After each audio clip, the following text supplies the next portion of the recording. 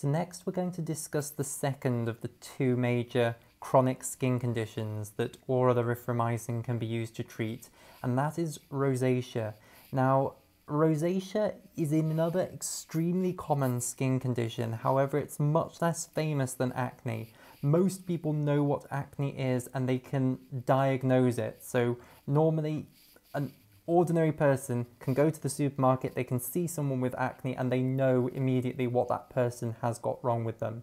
Rosacea, on the other hand, is a condition that most people don't know what it is and wouldn't be able to diagnose someone with in the supermarket. However, it is a very common skin condition, and once you know what it is, if you go to the supermarket, you will see people with this condition, especially if you live in a country with a lot of Caucasian people, because it's particularly common and also particularly obvious in Caucasian people. So rosacea is a skin condition of the face and it is a skin condition that causes the skin of the face to be red all the time. So if you go to the supermarket, you will see individuals who have very red faces and it is likely that the skin condition that is causing that is rosacea. So next time you go to the supermarket and you do see these individuals with red faces, you can be thinking to yourself, I probably know the name for that skin condition. It is probably rosacea. Now there are other skin conditions apart from rosacea that cause people to have a red face. One of the key differentials would be a condition called KPRF, which stands for keratosis pilaris rubra faciei. Now, this is a form of keratosis pilaris, which is another disorder of the hair follicles, and it's a disorder where the skin at the boundaries of the hair follicles overgrows and seals up the hair follicles. So I'll just draw a picture of this.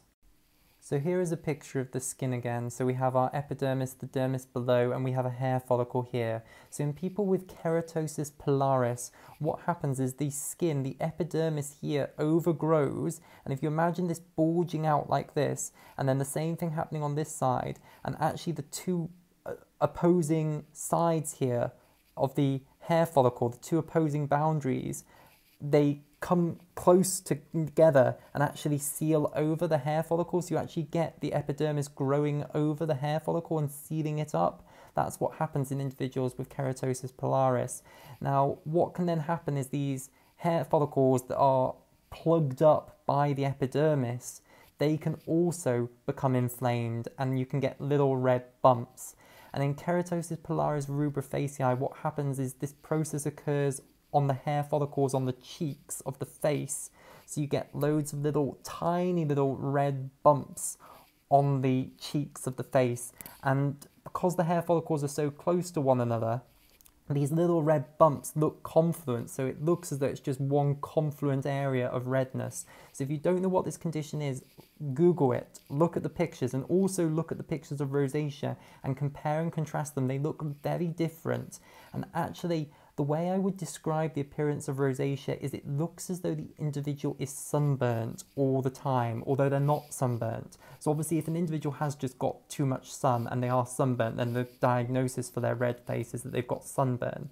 However, in individuals with rosacea, they look as though they are sunburnt all the time, but they haven't been out in the sun, they're not sunburnt. That's how you can uh, really tell this condition apart from other conditions that cause facial redness.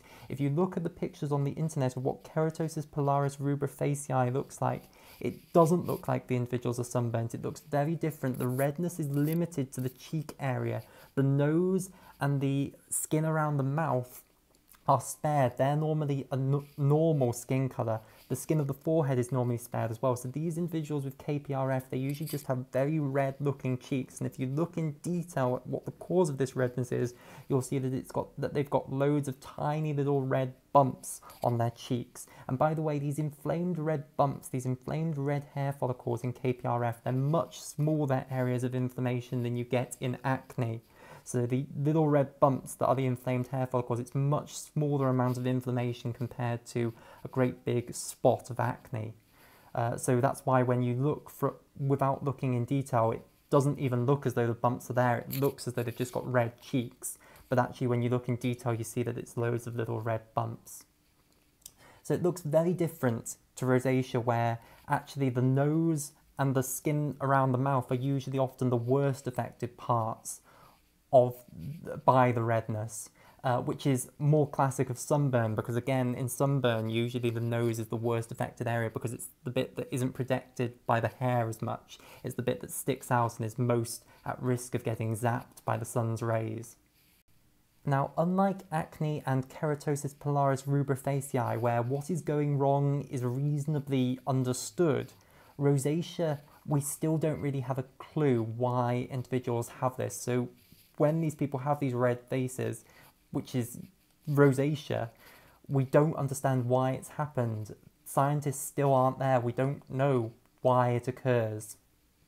However, even though we don't know what causes rosacea, we do know that oral antibiotics are effective at treating it.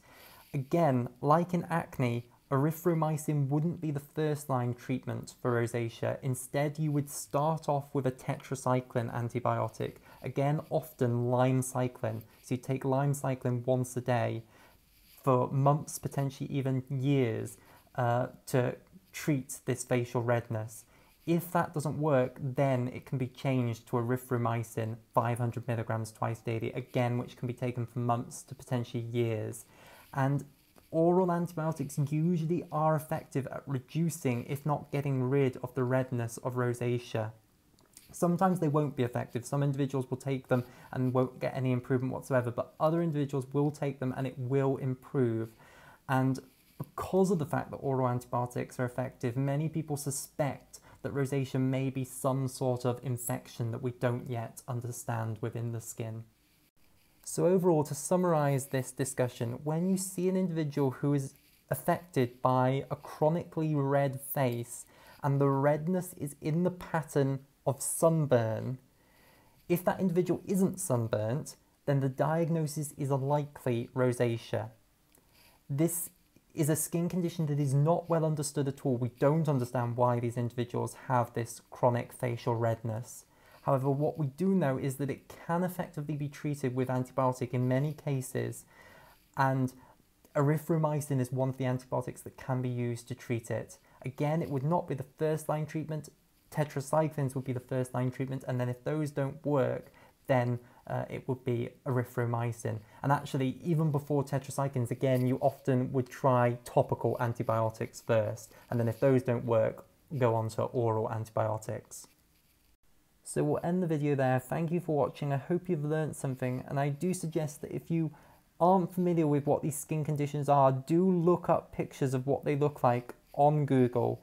This one looks very different to this one. This one is usually considered quite an attractive skin condition as skin conditions go because it gives people that flush cheek, healthy look, um, which people often seek by putting makeup on their cheeks. Whereas this one is considered less attractive because it gives you a red nose and it makes you look as though you're sunburnt all the time. So they do look very different. So do look up pictures of what they look like and contrast them. And you'll see that most people that you see with a red face, especially the older people with a red face, it's going to be this one rather than this one.